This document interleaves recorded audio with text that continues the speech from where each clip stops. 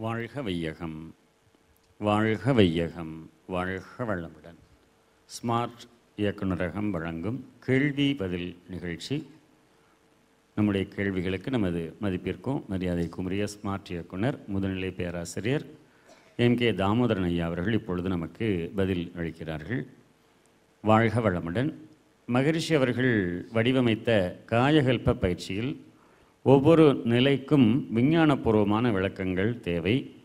காலையில் செய்யும் பயிற்சி காலையில் தான் செய்ய வேண்டும். மாலையில் செய்யும் பயிற்சி மாலையில் தான் செய்ய வேண்டும் என நாம் கூறுகிறோம். இது எதனால்?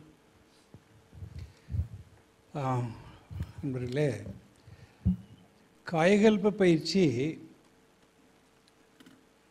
எல்லா மொழிகளிலும் இருக்கின்ற சித்தர் பாடல்கள் எல்லாமே அந்த பயிற்சியினுடைய நுணுக்கம் விரைவி கிடக்கிறது.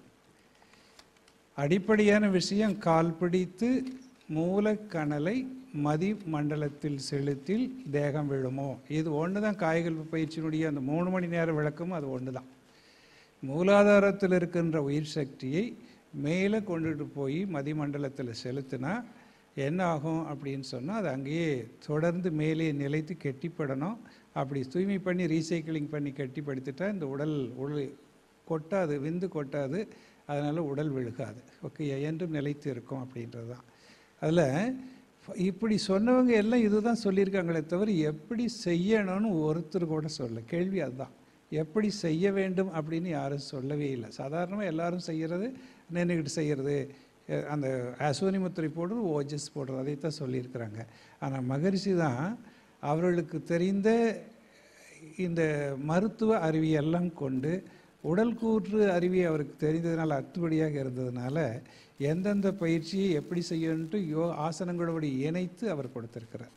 காலையில் செய்யும்போது முதல் பயிற்சி நம்ம செய்யும்போது ரெண்டு கைகளையும் நல்லா ஸ்ட்ரெச் பண்ணிக்கிட்டு மேலே தூக்கி குதிங்கால்களையும் மேலே உயர்த்தி அப்படி நம்ம செய்கிறோம். ஸோ என்ன ஆகுன்னு சொன்னால் உடல் முழுவதும் முதல்ல காலை எழுந்த உடனே உடல் முதல் முழுது- முழுவதும் இருக்கின்ற நர்வஸ் சிஸ்டத்தை ஸ்ட்ரெச் பண்ணணும். அப்போ தான் சக்தி ஓட்டம் சீராக இருக்கும் அப்படின்றதுனால தான் ரெண்டு கைகளையும் மேலே தூக்கி அப்படி இது நேர்ந்து ஓஜஸ் போடுற மாதிரி அப்படி அமைக்கப்பட்டிருக்கிறது. அதே மாதிரி மதியானம் செய்கின்ற பயிற்சிகளில் முதல் பயிற்சி எப்படின்னா வஜ்ராசனத்தில் உட்காந்துட்டு இடுப்பில் ரெண்டு கைகளையும் ரெண்டு பக்கமாக இறுக்கமாக வைத்துக்கொண்டு நம்ம பண்ணுறோம் இப்படி பண்ணும்போது அந்த பயிற்சியில் என்ன வருது அப்படின்னு சொன்னால் இந்த சக்தியை என்ன அப்படின்னு சொன்னால் இங்கே மேலே வயிற்றுக்கு மேலே மேல் நோக்கி கீழே காலுக்கு போகிறத குறைச்சிட்டு எப்போவுமே காலுக்கு போய்கிட்டு தான் இருக்கும் கீழே. காலுக்கு போகிறத குறைச்சிட்டு மேலே மட்டும் இப்படி போகிற மாதிரி மேலே மட்டும் போகிறது மாதிரி இந்த லங்ஸ் சிஸ்டம் லங்ஸு ஹார்ட்டு இது மாதிரி டைஜஸ்டிவ் சிஸ்டம் இதுக்கு மட்டும் இந்த சக்தி போகிறதுக்காகத்தான் இப்படி கீழே இறுக்கமாக இப்படி இந்த இடத்துல கட் பண்ணுறோம் கட் பண்ணிக்கிட்டு அப்புறம் ஓஜஸ் போடுறோம் அது மாதிரி. அதேமாதிரி மாலை பயிற்சிகளையும் கைகளை ரெண்டு பக்கமும் அதாவது அஞ்சு ஒரு கையை மேலே வச்சுக்கிறோம் சவுத்து ஒட்டி. ரெண்டு குதிங்கால்களையும் ரைஸ் பண்ணிவிட்டு இப்போ வலது பக்கம் அப்படின்னு சொன்னால் கால்களில் அஞ்சு அஞ்சு பத்து மடியன் நரம்புகளும் கையில் அஞ்சு பதினைஞ்சு மடிய நரம்புகள் வலது பக்கம் ஆக்டிவேட் பண்ணுற மாதிரி அதை அமைச்சிருக்கிறாங்க. அதே மாதிரி இடது பக்கம் செய்யும்போது இடது பக்கம் கையில் இடது கைக்கு ப்ளஸ் கால்களுக்கு ரெண்டும் பதினஞ்சு மடிய நரம்புகளையும் ஆக்டிவேட் பண்ணுற மாதிரி அவங்க அமைச்சிருக்கிறாங்க. ஒவ்வொரு ஏரியாவுக்கும் அந்த ஓஜஸ் போடும்போது அந்த சுத்த சக்தி எல்லா இடங்களிலையும் போக வேண்டும் அப்படின்றதுக்காக. தடையில்லாமல் அப்படி. அதே மாதிரி இரவு செய்யும்போது கால்களை மடித்து கொண்டு ஆண்களுக்கு பெண்களுக்கு அப்படி இல்லை. ஆண்களுக்கு மட்டும் அப்படி கால்களை மடித்து கொண்டு மேலே தூக்கிட்டு தலையை மேலே தூக்கிட்டு இந்த நடுவால் இடையில் இருக்கிற பகுதிகளுக்கு மட்டும் ஒஜஸ் போகிற மாதிரி அப்படி அமைச்சிருக்கிறாங்க. இரவு எல்லா இடத்துலையும் ரிலாக்ஸாக போகிற மாதிரி தூங்குறதுக்கு முன்னாடி அப்படி அமைச்சிருக்காங்க. ஸோ இது எல்லாம் யோகா சிஸ்டத்தில் அடிப்படை வைத்துக்கொண்டு ஒவ்வொன்றும் ஆசனத்தை ஆராய்ச்சி பண்ணி எல்லா இடங்களிலையும் நல்ல விதமாக எப்படி சக்தி ஓட்டம் இருக்க வேண்டும் என்பதற்கு அமைத்து கொடுத்துருக்குறாங்க. அது அவங்களுடைய சிறப்பு அறிவு தான் காரணம். மற்ற ஜென்ரலாக காயகல்பத்தில் எந்த இடத்துலையும் இப்படி செய்யணும்னு சொல்ல. எல்லாம் சொன்ன கால் இப்படி தான் செய்யணும். கால் பிடித்து மூலக்கணலை அல்லதுன்னா உண்ணும்போது செய்யுங்க உறங்கும்போது செய்யுங்க தின்னும்போது இலை அருந்தும் அதுவே ஆகும் தினந்தோறும் இவ்வாறே செய்ய வல்லார். இப்படி தான் எல்லா கவிகளிலும் சொல்லப்படுகிறது. ஸோ இது எல்லாம் அஹ், விஞ்ஞானபூர்வமாக எந்த இடம் எப்படி செயல்படும் என்பதையெல்லாம் அமைத்து கொடுத்தது ஒரு சிறப்பு தான். வாழ்க்கை வளமுடன். வாழ்க வளமுடன். தவம் செய்யும் போதும் உடற்பயிற்சி செய்யும் போதும் கண்களில் ஏன் கண்ணீர் வருகிறது? விளக்கம் கூறுங்கள் ஐயா. உங்களுக்கு கண்ணீர் வர்றதுக்கு நான் எப்படி விளக்க சொல்ல முடியும்? எல்லாருக்கும் கண்ணில் தண்ணி வந்துச்சுன்னு சொன்னால் சரி அது ஏதாவது பிரச்சனை இருக்குன்னு சொல்லலாம். ஒவ்வொருக்கு ஒருத்தருக்கு மட்டும் தனியாக அப்படி வருது அப்படின்னு சொன்னால் அது அவருடைய பாடியினுடைய பிரச்சனை. ஓகேயா ஸோ அப்போது உடற்பயிற்சி தவம் செய்யும்போது பண்ணால் கூட அது பரவாயில்லை. நல்ல துரியாதீத தவம் செய்யும்போது சில சமயங்களில் நம்முடைய மனதினுடைய இறுக்கம் உடைந்து போகும். அப்படி உடையும் போது கண்களிலிருந்து தண்ணீர் கொட்டும். ஓகேயா நல்ல தவத்தில் நம்ம மனசை நாமளே இறுக்கி வச்சுருப்போம். யாரும் உடைச்சிட்டு உள்ளே வரக்கூடாது. நம்முடைய வீக்னஸ் வெளியே தெரியக்கூடாது அப்படின்னு இறுக்கி வச்சுருப்போம். இந்த இறுக்கமானது நல்ல தவம் வரும்போது உங்களுக்கு உடைஞ்சிரும். பக்தியில் அதே மாதிரி உடைஞ்சிரும். நல்ல பக்தி செய்யும்போது அல்லது நல்ல பாடும்போது மனம் இழகி போயிடும் அப்படியெல்லாம் இருக்கும்போது கண்ணீர் போகும். உடற்பயிற்சி செய்யும்போது கண்ணீர் வருது அப்படின்னு சொன்னால் நீங்கள் ஏதாவது நினைத்து கொண்டு அழுகிறீங்களோன்னு எனக்கு தெரியல. வாழ்க வளமுடன். வாழ்க வளமுடன். உணவு ஏழு தாதுக்களாக மாறுகிறது. ஏழாவது தாதுவான விந்துநாதத்தில் உயிர் உள்ளதா இல்லையா? உள்ளது என்றால் திருமணமாகி பத்து வருடம் கழித்தும் குழந்தை இல்லையே என்ன காரணம்? ஓஜஸ் என்றதே உயிருடைய நுண்ணிய பகுதி தான் ஓகேயா? ஓஜஸில் உயிர் இருக்கிறதுன்னு கேள்வி இருக்கக்கூடாது. ஓஜஸ் ஓஜஸ்ன்றே உயிருடைய மிக நுண்ணிய பகுதி தான் ஓஜஸ்ன்னு சொல்லக்கூடியது. அது ஓஜஸ் தான் சுத்த சக்தி ஓகேயா? அது உயிர் தான் ஏன் வரலைன்றதுக்கு நிறைய காரணம் இருக்கிறது. ஓகே குழந்தை இல்லை அப்படின்றதுக்கு பல காரணங்கள் இருக்கிறது. ஓகே அதுக்கு ஒன்று போதிய அளவுக்கு வைட்டாலிட்டி ஆண்களுக்கு இல்லாமல் இருக்கலாம். ஓகேயா நிறைய பெண்களுக்கு அதே மாதிரி முட்டை சரியாக தரிக்காமல் இருக்கலாம். அதே மாதிரி ஓவம் சரியாக வராமல் இருக்கலாம். அதே மாதிரி அந்த பெல்லோபியன் டியூப்பில் அடைப்பு இருக்கலாம். இல்லையா ஓவரி சிறுசாக இருக்கலாம். இப்படி பல காரணங்கள் இருக்குது அது மருத்துவத்தில் ஆராய்ஞ்சதான் தெரியும். ஏன் இல்லை அப்படின்றதுக்கு. பெண்கள் ஆண்களுக்கு இல்லாததுக்கு ஏன் காரணம் அப்படின்னு சொன்னால் மெயினாக விந்துநாதன் நீர்த்து போகிறதா விந்துநாதை நீர்த்து போகிறது இருப்பு அளவு குறைஞ்சி போயிடுறது வைட்டாலிட்டி பத்தாமல் போயிடுறது. இது காய்கல்பம் பண்ணினா நல்லா வரும். கூடும். வாழ்க வளமுடன். வாழ்க வளமுடன். கரு உருவாகும் காலம் ஏன் அமாவாசை கூடாது என்கிறார்கள். கரு உருவாகும் காலம் ஏன் அமாவாசையாக இருக்கக்கூடாது? என்ன காரணம்? அமாவாசை என்று. கரு உருவாகிறது எப்போ உருவாகுதுன்னு நமக்கு தெரியாது. ஓகேயா அது அதாவது சேர்க்கை வேண்டுமானால் சில காலங்களில் கூறாது அப்படின்னு சொல்கிறாங்களே தவிர கருவை நம்ம சேர்ந்ததுக்கு பின்னாடி நாற்பத்தெட்டு மணி நேரத்தில் எப்போ வேண்டுமானாலும் கரு கூடலாம். அது மாதிரி கூடுறது உண்டு. ஓகேயா ஸோ இது அமாவாசையில் கூடக்கூடாது அப்படின்னு சொல்கிறதுக்கு இந்த நாட்கள் எல்லாமே பூமியினுடைய ஈர்ப்பு விசை அதிகமாக இருக்கும். அமாவாசை அன்னைக்கு பூமியினுடைய புவி ஈர்ப்பு விசை அதிகமாக இருக்கும். பௌர்ணமி அன்னைக்கு நிலவனுடைய ஈர்ப்பு விசை அதிகமாக இருக்கும். அதனால் அமாவாசையினுடைய புவி ஈர்ப்பு ஈர்ப்பு விசை அதிகமாக இருந்துச்சு அப்படின்னு சொன்னோன்னா அந்த குழந்தையில் எதையாவது ஒரு பாகம் அதை பார்த்து அஃபெக்ட் பண்ணலாம். ஸோ கரு தரிச்சிச்சு அப்படின்னு சொன்னால் அந்த நேரத்தில் அதனுடைய பாகம் ஏதாவது ஈர்ப்பு விசையினால் சரியாக ஃபார்ம் ஆகாதனால அது குழந்தை குறையுடையதாக இருக்கிறதுக்காக சான்ஸ் இருக்குது அப்படின்றதுக்காக அப்படி சொல்கிறாங்க அதனால் பெரும்பாலும். அதனால் அமாவாசை பார்க்கறது அப்படின்றத விட சில வேறு நாட்கள் தான் பார்க்குறாங்க. அமாவாசையை அப்படி அதிகமாக பார்க்குறாங்களா அப்படின்றது எனக்கு தெரியல. வாழ்க்கை வாழ்க்கை வள மட்டும் வாழ்க வளமுடன். திருநங்கைகள் பிறப்பதற்கான காரணம் என்ன? திருநங்கைகளுக்கு காயகல்பம் கொடுக்கும்போது சீவவித்து குழம்பை பற்றி எப்படி விளக்குவது? இந்த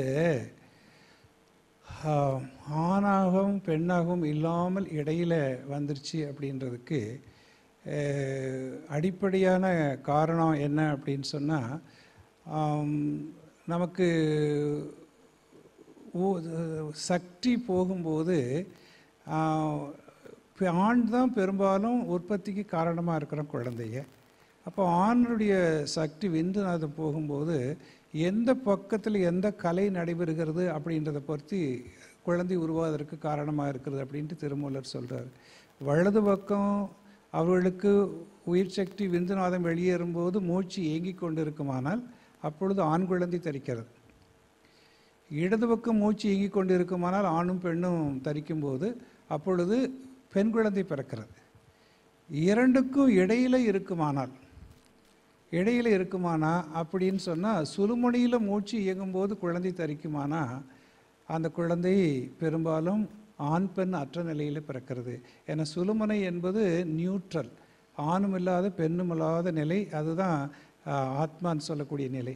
அந்த நிலையில் இருக்கும்போது ஒரு குழந்தை தரிக்குமானால் ஆணும் பெண் அற்ற நிலையை தரிக்கிறது காரணமாக இருக்கிறது. அது மட்டுமல்ல பெண்ணுக்கு சில காரணங்கள் இருக்கிறது குழந்தை பிறக்கும்போது பெண்ணு ஆணும் பெண்ணும் உடல் இணைப்பு ஏற்படும் போது பெண்ணுக்கு மலம் அதிகமாக சிறுநீர் கழிக்கலைன்னு வச்சுக்கோங்க. உடலில் சிறுநீர் அதிகமாக அப்படின்னு இருந்துச்சு அப்படின்னு சொன்னால் அவங்களுக்கு செவிடாக குழந்தை பிறக்குதுன்னு சொல்கிறாங்க அதே மாதிரி மழம் கறிக்கவில்லை அப்படின்னு சொன்னோம்னா அவள் ஊமையாக குழந்தை பிறக்குதுன்னு சொல்கிறாங்க வயிற்றுக்குள்ளே நிறைய கழிவு இருக்குமானால் பெண் வயிற்றில் நிறைய கழிவு இருக்குமானால் சேர்க்கையின் போது.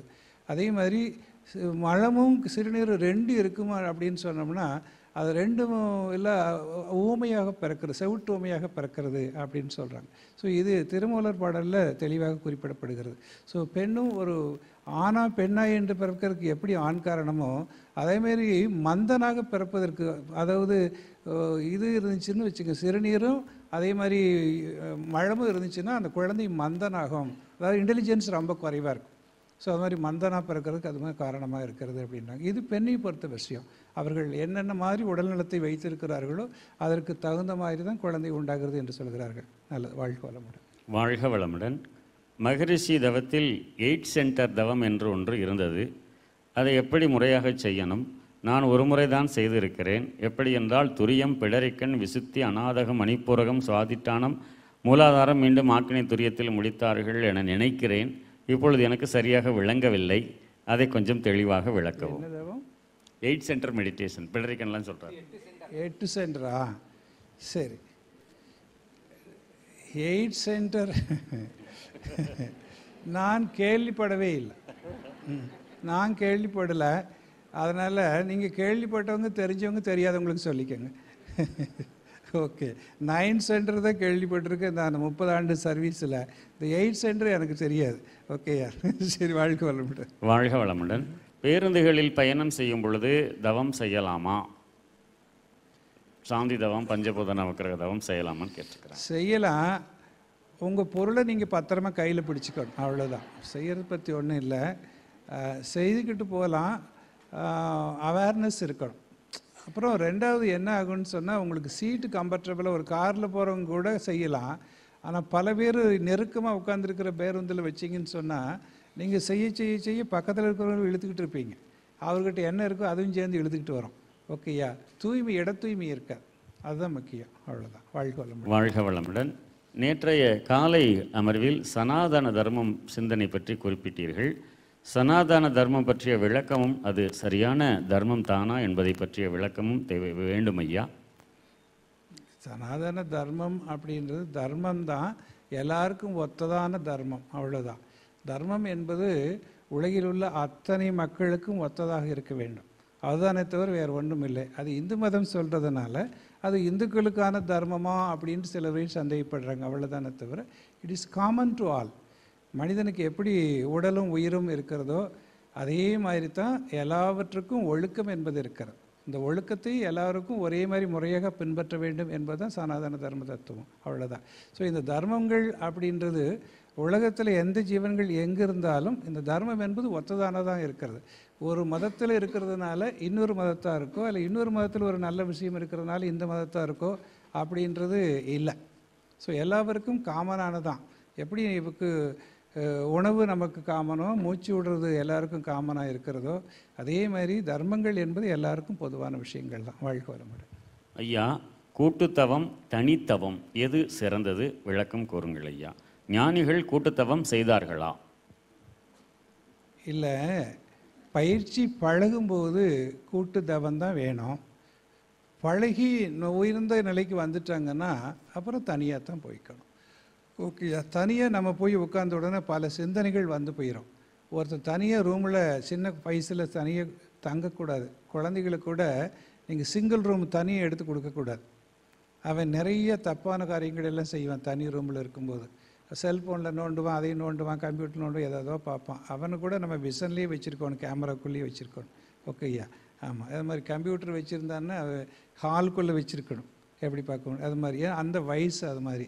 ஸோ அது மாதிரி தனியாக இருக்கிறதுக்கான மெச்சூரிட்டி வந்ததுக்கு பின்னாடி தனியாக இருக்கலாம். அதுக்கு பின்னாடி கூட்டாக தான் இருக்கணும். அதனால தான் இப்போ பயிற்சியாளர்கள் எல்லாம் கூட்டு தவம் பண்ணுறது தான் சிறப்பு. இல்லைன்னா நம்ம இங்கே ஒரு மணி நேரம் உட்காடுறோம் தனியாக கொஞ்ச நேரம் உட்காந்து உடனே யாராவது நினப்பு வந்து எந்திரிச்சு போயிடுவோம் இல்லையா? ஸோ ஏதோ வேலை இருக்குது அப்படின்னு எந்திரிச்சு போயிடுவோம் அதனால் யாருக்கு மனசு கண்ட்ரோல் இருக்கிறது அதில் ஒரு தீவிர வைராக்கியம் இருக்கிறதோ அவங்க போய் எங்கேயாவது தனியாக அவங்களே உட்காந்துக்குவாங்க. அவங்கள நாம் ஒன்றும் சொல்ல வேண்டியதில்லை. தீவிர வைராக்கி இருக்கிறவன் எந்த இதுலேயும் சேர மாட்டான். அவன் போய் தனியாக எங்கேயாவது சந்து பொந்து பார்த்து அதான் அதனால தான் இந்த காலத்தில் குகையில் போய் உட்கார்ந்தாங்க. போய் தனியாக போய் உட்கார்ந்து கொண்டு அவர்கள் எந்த டிஸ்டர்பன்ஸ் இருக்க மாட்டாங்க. எதிர்பார்க்க இருக்கக்கூடாதுன்னு நினைப்பாங்க. சாப்பாட்டை எதிர்பார்க்க மாட்டாங்க நேரத்துக்கு. எதையும் எதிர்பார்க்க மாட்டாங்க. அப்படி போவாங்க. ஸோ அதனால் பயிற்சி நல்ல நிலைக்கு வருகின்ற வரைக்கும் நமக்கு கூட்டுத்தவன் தான் முக்கியம். ஓகேயா? தனியாக இருக்கிறது நம்ம வீட்டில் செய்யும்போது தனியாக நம்ம செய்து பாருங்கள் தனியாக எப்போவுமே போகணுன்னா அது மாதிரி வைத்துக்கொள்ளலாம் வாழ்க வளமுடன். வாழ்க வளமுடன். ஐயா நோபல் பரிசு பெற தகுதி என்ன? நமது மகரிஷிக்கு அமைதிக்கான நோபல் பரிசு கிடைக்க வாய்ப்பு உள்ளதா?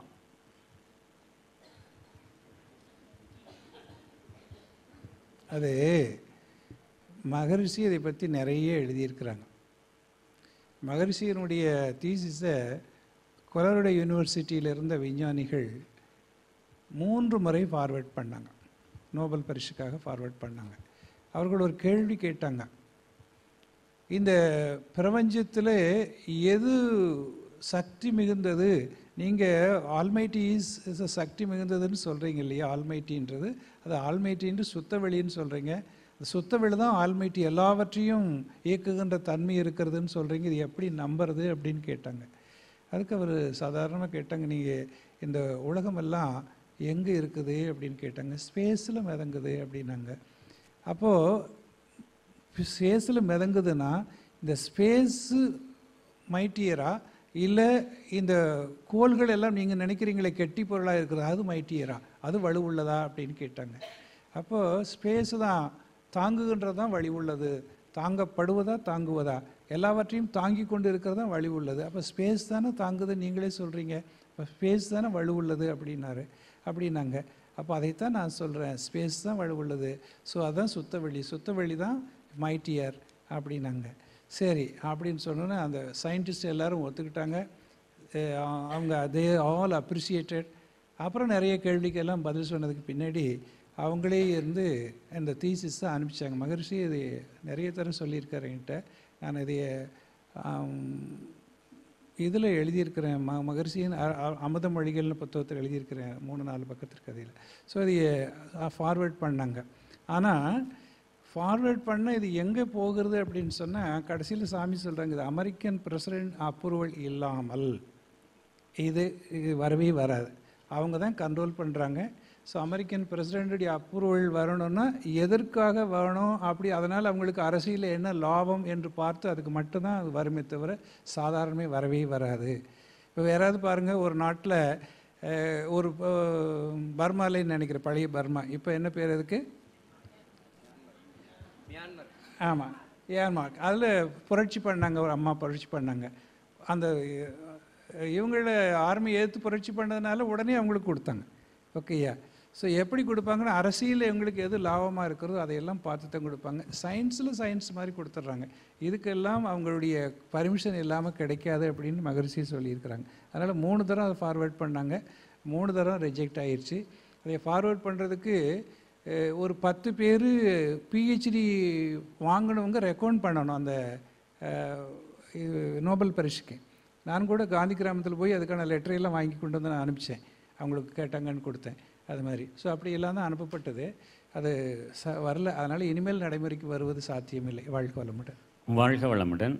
தீப பயிற்சி கண்ணாடி பயிற்சி இவற்றை பற்றிய செய்முறை விளக்கங்களை நமது புத்தாக்க பயிற்சியில் சேர்த்தால் நல்லது. மௌனம் என்ற தத்துவத்தை பயிற்றுவிக்கும் முறையையும் நமது புத்தாக்க பயிற்சியில் பேசுவதே இல்லை. இதற்கான விளக்கங்கள் கூறுங்கள் ஐயா. இல்லை. தீப பயிற்சி கண்ணாடி பயிற்சி எல்லாமே இங்கே வந்து செய்ய முடியாது. இங்கே வரும்போது நீங்களெல்லாம் நிறைய இது செய்துட்டு அகத்தாய்வில் நடத்திக்கிட்டு இருக்கிறீங்க. நீங்கள் எல்லாம் ஆசிரியர்கள். நீங்கள் தான் அதை சொல்லி கொடுத்துக்கிட்டு இருக்கிறீங்க. இன்னும் இங்கே வச்சு கண்ணாடி ஐநூறு கண்ணாடி வச்சு எங்கே உட்கார்றது? அதுக்காக எந்த நேரத்தை ஒதுக்கிறது? அந்த கண்ணாடியெல்லாம் எடுத்து வைக்கிறது? என்ன சிரமம் பாருங்கள் ஸோ இதையெல்லாம் சின்ன லெவலில் மன்றங்களில் வைத்து நம்ம கற்றுக்கணும் இங்கே வந்து அது மாதிரி பயிற்சி செய்வது எல்லாமே ரொம்ப சிரமமான காரியம். இங்கே எல்லாம் எண்ணெய் வச்சோன்னா எல்லா இடத்துலையும் எண்ணெய் ஆயிரும் அப்புறம் வலிக்கிட்டு ஒழுகணும் ஓகேயா தெய்வ தெய்வ பயிற்சி இங்கே வச்சுன்னு கீழே எல்லாம் அங்கங்கே. இந்த விளக்கு தெய்வம் பண்ணுவாங்க இல்லையா க- கோயிலில் வச்சு. அவன் எல்லாம் எண்ணெய் ஊற்றிட்டு போயிடுவாங்க. அப்புறம் எல்லாத்தையும் அதை துடைச்சி தண்ணி ஊற்றி கழுவணும். அப்படி. ஸோ இதெல்லாம் இந்த கூட்டத்தில் இது மாதிரி இடத்துல வந்து பண்ண முடியாது. ஓகேயா ஸோ நாம் அங்கே தான் பண்ணிக்கணும். சின்ன குரூப்பில் இருக்கும்போது தான் நம்ம அங்கே பண்ணிக்கணும். இங்கே வந்து பண்ணுறது ஒன்றும் இல்லை அடுத்தது? மௌனம் மௌனம் மௌனம் மௌனம். பற்றி விளக்குறது அப்படின்றது அது மௌனம் இங்கே எப்படி நடத்துகிறாங்களோ இது நிர்வாகம் நடத்துகிறது. ஸ்மார்ட்டுக்கு என்ன வேலை அப்படின்னு சொன்னால் ஆசிரியர்களை பயிற்றுவிக்கிறது ப்ளஸ் ஆசிரியர்களை உருவாக்குறது இதுக்கான சிலபஸை கொடுக்கறது ப்ளஸ்ஸு அருளியர் கோர்ஸுக்கான பயிற்சிகளை நடத்துறது. பிரம்மஞானம் வரைக்கும் நமக்கு பிரம்மஞானம் வரைக்கும் அது விஷன் பிரம்மஞானம். ஆள் ஆ- ஆசிரியரை வரும்போது மட்டும் நாங்கள் எடுத்துக்கிறோம் அதுக்கு மேலே. ஸோ இந்த பயிற்சிகள் தான்.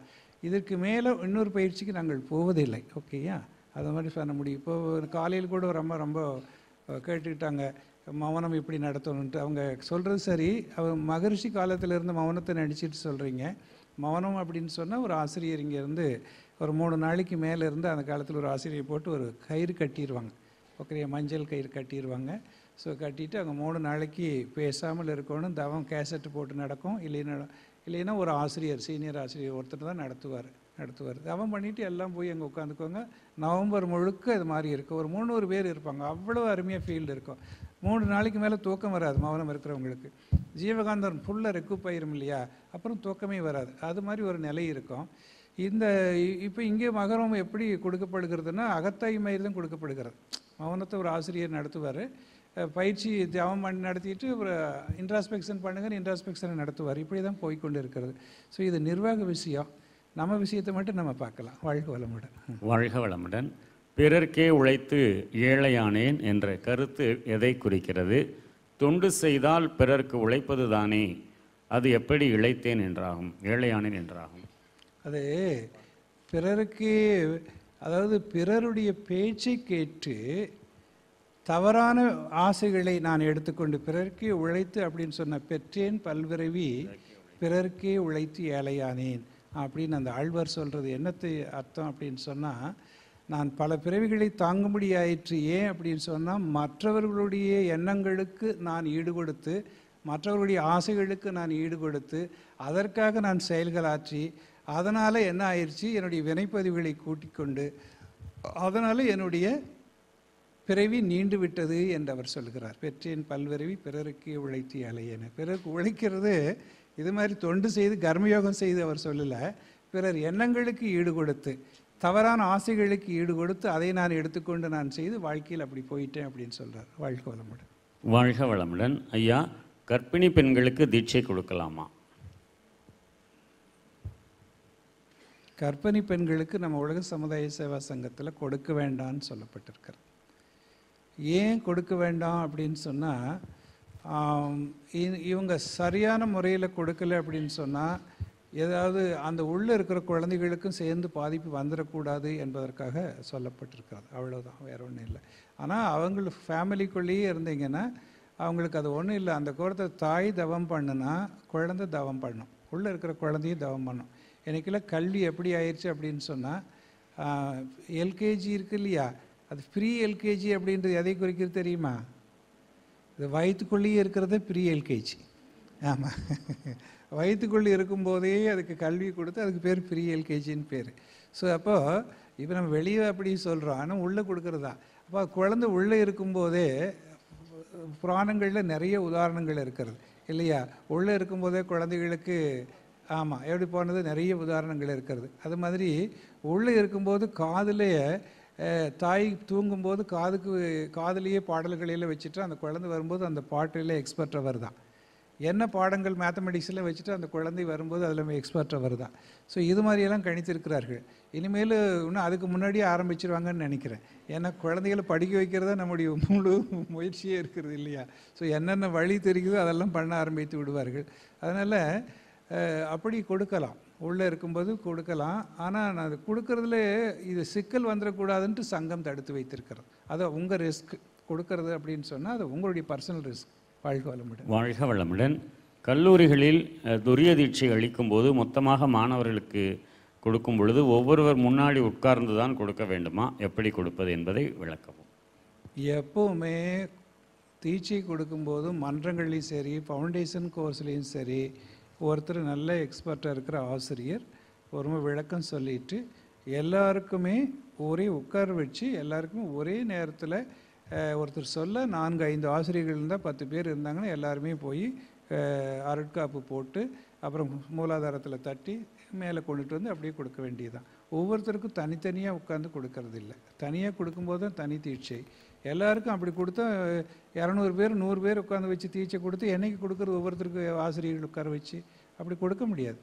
சரி ஒரு நாலஞ்சு ஆசிரியர்கள் போகிறாங்க அப்படின்னு சொன்னால் ஒரு ஐம்பது பேருக்கு அறுபது பேருக்கு ஒரு பத்து பேருக்கு ஒரு ஆசிரியர். அப்படி போனால் டக்குன்னு ஒருத்தர் நடத்த மற்றவங்களெல்லாம் எல்லாம் தீட்சை சரியாக போயிடும். அப்படி தான் கொடுக்கணும். வாழ்க வளமுடன். வாழ்க வளமுடன். சடுதி மாற்றம் என்பது இயற்கை விதி மீறல் என்றால் அந்த மீறல் நிலை உருவானது எதனால்? என்ன சொல்லுங்கள் சடிதி சடுதி மாற்றம் என்பது இயற்கை விதி மீறல் என்றால் அந்த விதி மீறல் நிலை உருவானது எதனால்? அது சடுதி விதிக்கு என்ன இங்கிலீஷில் சொல்கிறான் ஏ? சடிதி சடிதி என்ன? பயங்கரமான தமிழில் இருக்குது அது எங்கே கேள்விப்பட்ட மாதிரி. ஆ ஆங்கிலத்தில் என்ன கேட்குறாங்க சடுதி மாற்றம் இங்கிலீஷில். இல்லை அது இயல்புக்கம் மியூட்டேஷனா இயல்புக்கம் அது. மியூட்டேஷன் இயல்புக்கம். இயல்போக்கத்தை தான் சடிதி மாற்றம்னு சொல்கிறீங்களா அல்ல அல்ல அல்ல அல்ல. சடிதி மாற்றம்ன்றது சடன் சேஞ்ச் அல்ல. யார் கேள்வி கேட்டவங்கள அவங்க சொல்லுங்க. வேறுபட்ட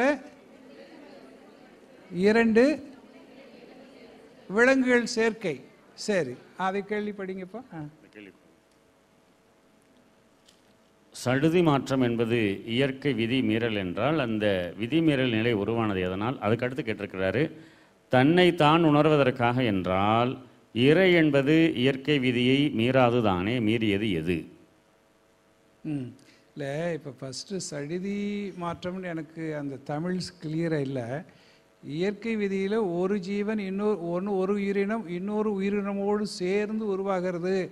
அப்படின்னு சொன்னால் சரியா? அப்படின்னு சொன்னால் அதில் இயற்கையில் என்ன ஆகுது? இயற்கையை உருவாக்குகிறது. எந்த இடத்துலையும் பரிணாமத்தில் பல காலம் ஒன்றாகவே வந்து கொண்டு இருக்கும்போது பரிணாமத்தில் இன்னொரு ஜீவன் உற்பத்தி ஆகும்போது இயற்கையை என்ன பண்ணுது? அயல் மகரந்த சேர்க்கைன்னு சொல்கிறாங்க இல்லையா? ஒரு பூவிலிருந்து அதனுடைய போய் மகர்ந்த சேர்க்கை பல பூவுகளில் வரும்போது அது ஒவ்வொன்றும் கலர் மாதிரி பல கலரை உண்டாக்கக்கூடியதாக இருக்கிறது. ஸோ அதே மாதிரி ஒரு குரங்கோட அல்லது நமக்கு ஜீவன் உண்டாகும்போது கூட ஒரு யாலியானது ஒரு குரங்குடன் சேர்ந்து தான் மனித உருவம் முதல் முதல் உருவாயிற்று அப்படின்ட்டு பரிணாமத்தில் மகரிஷி சொல்லுவாங்க. என்னுடைய பரிணாம கணிப்பு எப்படின்னு சொன்னால் யாழின்னு ஒரு மிருகம் இருந்தது. அந்த யாழின்னு மிருகம் என்பது மனித உடலோடு சிங்கத்தினுடைய தலையோடு இருக்கும். பழைய கோயில்களெல்லாம் ச- அந்த இதில் வச்சுருப்பாங்க மேலே. அது மாதிரி இருக்கும். ஸோ அதோடு சேர்ந்து அது கன்னிபாலிசம் என்று தான் இனத்தை தானே சாப்பிடக்கூடியது. அப்படி இருந்ததுனால அந்த இனம் இப்பொழுது இல்லாமல் அழிந்து விட்டது. அதுவும் ஒரு மனித குரங்கு இனமும் சேர்ந்து உண்டாகும் ஒரு குரங்கு இனம் சேர்ந்து உண்டாகுதான் முதல் மனித குடும்பம் உண்டாயிற்று. மீண்டும் அது தான் தாய் குழ இனத்தையே சேரும்போது அடுத்த குழந்தை உண்டாயிற்று. இப்படி தான் பரிணாமம் மனித உலகில் வந்திருக்க வேண்டும் என்று நான் கணிக்கிறேன் அப்படின்ட்டு மகரிஷி பரிணாமத்தில் எழுதுகிறாங்க ஸோ இது மாதிரி இயற்கையே என்ன பண்ணுது? உண்டாவதற்கான வாய்ப்பு ஏற்படுத்துகிறது மாற்றத்தை ஏற்படுத்துகிறது. பட் அது எப்பொழுதுமே நடக்கிறதில்ல. எப்போது ஒரு முறை நடந்து இப்போ அதிலிருந்து தொடர்கிறது. இதை நான் எங்கள் ஊரில் கண்ணாக பார்த்தேன். ஒரு கு- நாயோடு ஒரு குரங்கோ இல்லை ஆடோ எதுவும் இணைந்து இருந்ததை நான் என்ன கண்ணால் பார்த்தேன். இப்போ மக்கள் எல்லாம் பேசிட்டாங்க இது கலிகாலம் பாரு இப்படியெல்லாம் நடக்குது அப்படின்ட்டாங்க. இது எப்போவாவது ஒரு தடவை அது மாதிரி நடப்பதற்கு காரணமாக இருக்கிறது. அப்படி நடக்கும்போது சே மாற்றம் ஏற்படுகிறது. அப்படி தான் வந்திருக்க வேண்டும் அப்படின்னு சொன்னாங்க. ஸோ இது மாதிரி அது இயற்கை தான். இயற்கையே அது மாதிரி தூண்டப்பட்டு தான் நடத்தி வருகிறதே தவிர மனித தூண்டுதல் இல்லை. அது மாற்றம் வர வேண்டும் என்பதற்காக இயற்கை அவ்வாறு செய்கிறது. அடுத்த கேள்வி அதில்? அவ்வளோதாங்க என்னவோ இருந்துச்சு இருந்துச்சு. தன்னைத்தான் உணர்வதற்காக என்றால் இறை என்பது இயற்கை விதியை மீறாதுதானே. மீறியது எது? ஆ தான் விதியை தானே மீறுறதுக்கு அதுக்கு ஒன்றும் சட்டம் செய்யவில்லை. நாம தான் சட்டம் பண்ணியிருக்கிறோம். இயற்கையினுடைய விதி இது. எது இயற்கை விதி? யார் அதை நிர்ணயிக்கிறது? நிர்ணயிப்பது இயற்கையல்லவா நிர்ணயிக்க வேண்டும்?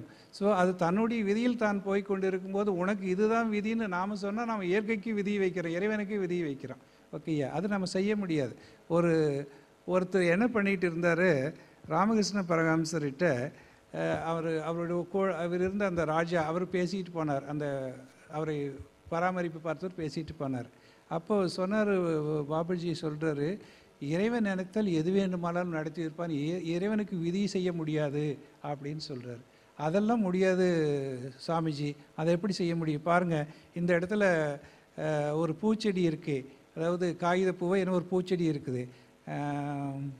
அந்த லேசாக இப்படி அழகாக பூக்கும் இல்லையா? மஞ்சளா? இல்லை இல்லை சிவப்பாக பூக்கும் இல்லையா நிறையா? செம்பருத்தி. இந்த செம்பருத்தி பூ இருக்கிறது இது செம்பருத்தி பூவில் சிகப்பாத்தான் பூக்கும். இது வேறு கலரில் பூக்குமா சாமி? இறைவன் பண்ண இறைவனாலேயும் மாற்ற முடியாது. அப்படி தான் நடக்கும் அப்படின்றாரு. அப்போ சொல்கிறார் சாமி இல்லை. இறைவன் நினைத்தார்னா எது வேண்டுமானாலும் நடக்கும். எதையும் அவனால் மாற்றி வைக்க முடியும். ஏனென்றால் எல்லா மாற்றத்துக்கும் அவன் தான் அடிப்படையானவன் அப்படின்றார். இல்லை இல்லைன்னு ஒத்துக்க அடுத்த நாள் காலையில் அங்கே போகும்போது அதே செம்பருத்தி செடியில் இன்னொரு கிளையில் வெள்ளையாக பூத்திருக்கிறது. அப்போ கூப்பிட்டு காட்டுறார். பார்த்தியா நீ சொன்ன செம்பருத்தியில் சிகப்பு தான் பூக்கும் என்று வெள்ளையாக பூத்திருக்கிறது. அவன் நினைத்தால் எது வேண்டுமானாலும் நடத்தி காட்டுவேன் என்பதற்காகத்தான் இது சாட்சின்றார். ஸோ இயற்கைக்கு நம்ம விதி செய்ய முடியாது. இப்படி தான் இருக்கும்னு சொல்ல முடியாது. நாம் இயற்கையில் என்ன விளைந்ததோ அதை விதியாக வைத்துக் கொள்கிறோமே தவிர வந்ததுக்கு பின்னாடி தான் நம்ம அதை தீர்மானிக்கிறோம். வாழ்க வளமுடன். வாழ்க வளமுடன். தவம் செய்து ஆன்மீக சாதனையில் முன்னேறும்போது பலவித துன்பங்கள் வருவதற்கு சாத்தியங்கள் உள்ளதா ஐயா? ஆமாம் சாத்தியம் உண்டு. தவம் செய்தால் பதிவுகள் வெளியேறும்போது சில துன்பங்கள் வரதான் செய்யும் ஸோ தூய்மையனில் பழிச்செயல்கள் பதிவு நீக்கம். துன்ப அனுபவமாக இயற்கை நல்கும். தூய்மைப்பட வேண்டும் என்று சொன்னால் துன்பப்பட வேண்டும். ஒரு நகை ஒரு பொன் நகையாக வேண்டும் என்று சொன்னால் அது தீயில் வாட்டி அடிபட வேண்டும். ஓகேயா ஸோ எல்லாவற்றுக்கும் மாற்றம் பெறும்போது தூய்மைப்படும் போது அதற்கான வழியை அது தாங்கித்தான் ஆக வேண்டும். ஒரு கல் அழகான சிலையாக வேண்டுமானால் அது பல அடியை வாங்கியாக வேண்டும். அதே மாதிரி ஒரு ஆன்மா தன்னை சுத்தப்படுத்தி கொள்ள வேண்டும் என்று சொன்னால் தூய்மை தவம் பண்ணும்போது தவம் பண்ணும்போதெல்லாம் அதனுடைய பதிவுகள் பல பிறவிகளில் போகக்கூடிய பதிவுகள் ஒரே பிறவிகளில் போக முயற்சிக்குது. அப்போ போகும்போது அது அதிகம் பெரிய பாதிப்பு இல்லைனாலும் ஒரு சின்ன பாதிப்பையாவது செய்யாமல் போகாது. அட்லீஸ்ட் கால் போகணும் அப்படின்னு இருந்துச்சுன்னா ஒரு முள்ளால் ஏ ஒரு முள்ளாவது ஏறும். அந்த துன்பத்தை கூட கொடுக்காமல் அது போகாது. ஸோ இது வரதான் செய்யும். அதனால் அதையெல்லாம் தாங்கி கொண்டால் தான் நம்ம இந்த ஆத்ம தூய்மை பெறும். வாழ்க வளமுடன். வாழ்க வளமுடன். ஐயா எஸ்ஏஆர் ரிப்போர்ட் அனுப்புவ அனுப்புபவர்கள் பிவா பிஆர்ஓக பிஆர்ஓவாக இருந்தால் நீங்கள் அவர்களை செலக்ட் செய்திருந்தும் ஊதியம் வாங்குபவர் என்ற காரணத்தால் ஜோனில் அவருக்கு தகுதி இருந்தும் நல்லாசிரியர் விருது மறுக்கப்பட்டுள்ளது. இதற்குரிய காரணத்தை தயவு செய்து கூறுங்கள் ஐயா. அவர் ஊதியம் வாங்கினால் கூட பெரும்பாலும் ஆசிரியர்கள் ஃப்ரீ சர்வீஸ் பண்ணுறாங்க பெரும்பாலான ஆசிரியர்கள் மிக குறைந்த அந்த ஹானரோரியம் வாங்கி கொண்டு ஃப்ரீ சர்வீஸ் பண்ணுறாங்க ஒரு கேட்டகரி இன்னொரு கேட்டகரி ஒரு பள்ளியில் அவர் ஆசிரியராக சம்பளம் வாங்கிட்டு இருக்கிறார். அவர் அங்கே அந்த இப்போ வகுப்புகளில் மனவளக்கலை நடத்துகிறார் அவர் ஆசிரியராக நியமித்ததே மனவளக்கலை நடத்துகிறது ஐந்து வகுப்பு ஒரு நாளைக்கு எடுக்கிறார் அஞ்சு கிளாஸ் அஞ்சு மனவளக்கலை நடத்துகிறார் அப்போ நடத்தும்போது அவர் ஒரு தொழில் செய்யும் போதே அவருக்கு தானே அஞ்சு பாயிண்ட்ஸ் வந்துடுதா வாரத்துக்கு அஞ்சு நாளைக்கு பஞ்சுனா அஞ்சு இருபத்தஞ்சு பாயிண்ட்ஸ் வந்துருந்தா அவர் நிறைய பாயிண்ட்ஸ் வாங்கிடுவார் ஓகேயா ஆனால் அவர் என்ன செய்கிறாரு சர்வீஸ்னு போய் செய்யலை. தன்னுடைய தொழிலை தான் செய்கிறார் ஸோ இது மாதிரி செய்யும்போது அதில் டுவெண்ட்டி ஃபைவ் பர்சன்ட் மட்டும் எடுத்துக்க சொல்கிறோம் அதுக்காக ப்ரொமோஷனுக்கு எடுத்துக்க சொல்கிறோம் ஆனால் நல்லாசிரியர் விருதுக்கு டுவெண்ட்டி ஃபைவ் பர்சன்ட் மட்டும் எடுத்துக்கோங்க. மற்ற வெளியும் சர்வீஸ் பண்ணணும் அப்படின்னு சொல்கிறோம் அதே மாதிரி ஒரு சிஇஓ இருக்கிறவர் அல்லது பிஆர்ஓ இருக்கிறவர் அல்லது பொறுப்பாசிரியராக இருக்கிறவர் இந்த சம்பளம் வாங்கி கொண்டு இருந்தாலும் மற்ற நேரங்கள்லையும் இப்போ சம்பளம் வாங்குறது அவர் டென் டு ஃபைவ் சிக்ஸ் அப்படின்னு வச்சுக்க எயிட் ஹவர்ஸுக்கு அதுக்கு முன்னாடியே பின்னாடியே போய் அவர் சர்வீஸ் பண்ணுறார் காலையில் ஆறு மணிக்கு போய் காலேஜில் போய் ஸ்கூலில் இந்த இதில் அந்த இன்ஜினியரிங் காலேஜ்லாம் போய் எடுக்கிறாங்க. ஹாஸ்டல்லாம் போய் எடுக்கிறாங்க. காலையில் ஆறு மணிக்கு போய் எங்கள் மன்றத்தில் போய் எடுப்பார். சிஇஓ தான் போய் அந்த நேரத்துக்கு ஆளே வரமாட்டாங்க. ஓகே ஆசிரியர்கள்லாம் யாரும் வரமாட்டாங்க. இவர் தான் வண்டி எடுத்துகிட்டு போய் எடுத்துகிட்டு வரணும். ஸோ இப்படியெல்லாம் காலையில் மாலையில் பிடிசி எட்டு மணி வரைக்கும் நடக்குது. வகுப்பு ஆறு மணிக்கு ஆஃபீஸ் முடிஞ்சு போயிடுது ஸோ அது அவுட் ஆஃப் ஹவர்ஸ் எடுத்து அவர் பாயிண்ட்ஸ் வாங்கியிருந்தால் அவங்களுக்கு கன்சல்ட் பண்ணி கொடுக்க வேண்டும். அதுதான் சரி. அவங்க அவுட் ஆஃப் ஹவர்ஸில் அந்த ஆஃபீஸ் ஹவர்ஸ் இல்லாமல் மற்ற நேரங்களில் அவர் இதே மாதிரி சர்வீஸ் பண்ணி பாயிண்ட்ஸ் வாங்கினாருன்னா அவருக்கு அது கொடுக்க வேண்டும் மறுக்கப்படக்கூடாது. ஏன்னா அவருக்கு நீ அது அவருக்கு வரக்கூடிய ரைட்டும் பாதிக்கப்படக்கூடாது. அதுதான் சரி வாழ்க்கை வளமுடன். வாழ்க வளமுடன். குழந்தை வேண்டுபவர்கள் தம்பதியர் இருவருமே ஓஜஸ் மூச்சு போடலாமா போட வேண்டாமா? விளக்கம் கூறுங்கள் ஐயா. குழந்தை இல்லாதவர்கள்? குழந்தை வேண்டுபவர் அதாவது ஆண் பெண் கணவன் மனைவி இருவரும் ஓஜஸ் மூச்சு போடலாமா போட வேண்டாமா? அந்த காலங்களில் போடாமல் இருக்கணும். குழந்தை வேண்டுபவங்க முதல்ல காய்கல்ப பயிற்சி எடுத்துக்கிட்டு அந்த விந்துநாதம் சுத்தமாகணும் அப்படின்னு சொன்னால் ஓஜஸ் மூச்சு போட்டுக்கிட்டு வரணும். குறிப்பிட்ட காலம் போட்டுக்கிட்டு வந்து திருப்பி எந்த காலத்தில் குழந்தை வேண்டும் அப்படின்னு அவங்க நினைக்கிறாங்களோ அந்த காலத்தில் ஒரு மாதம் ரெண்டு மாதத்திற்கு ஓஜஸ் போடக்கூடாது. எந்த வாழ்க்கை முழுதும் அதுக்காக குழந்தை இருக்குதோ இல்லையோ ஓஜஸ் போடாமே குழந்தை வரும்னு இருக்க வேண்டிய அவசியம் இல்லை. இல்லையா? ஸோ அது மாதிரி இல்லைன்னு வச்சுக்கோங்க. அதுக்காக வாழ்க்கை முழுதும் ஓஜஸ் போடாமையே போயிட்டு இருக்க வேண்டிய அவசியம் இல்லை. குழந்தை வேண்டுகின்ற காலத்தில் அந்த ஓஜஸ் விட்டுறணும். அதுக்கு பின்னாடியும் முன்னாடி போட்டுட்ருக்கணும் வாழ்க்கை வளமுடன். வாழ்க வளமுடன். தற்சோதனையும் ஆராய்ச்சியும் மிக முக்கியம் என்று மகரிஷி சொல்லுவார்கள். அதற்கு இன்னும் சிறப்பாக தவமையங்கள் செய்வதற்கு ஆலோசனை வழங்கவும். தற்சோதனை பெரும்பாலும் ஃபவுண்டேஷன் கோர்ஸில் வந்து பயிற்சி எடுத்துக்கிட்டு அதற்கு மேலே அவங்க வந்து அகத்தாயி பயிற்சியில் வந்து கலந்து கொண்டு அப்புறம் மாதத்துக்கு ஒரு முறை மௌனம் இருக்குது பாருங்க. அதில் வந்து கற்றுக்கிட்டதுக்கு பின்னாடி அப்புறம் அவங்க வந்து தற்சோதனை பண்ணணும். கற்றுக்கிட்டதோடு போகக்கூடாது கற்றுக்கிட்டு அன்றைக்கி தெரியும் ஆசை சீரமத்தில் சொல்லி கொடுத்துருக்குறாங்க. நம்ம கற்றுக்கிட்டு போயிட்டோம். ஆனால் அதை வந்து ப்ராக்டிக்கலாக நினச்சி பார்க்கணும். அப்போ மௌனத்தில் வந்து கலந்து கொண்டு அதை முதல்ல செய்து பார்க்கணும். முதல்ல செய்கிற மௌனம் எல்லாமே நம்முடைய குணங்களை சரி செய்து கொள்வதற்காகத்தான்.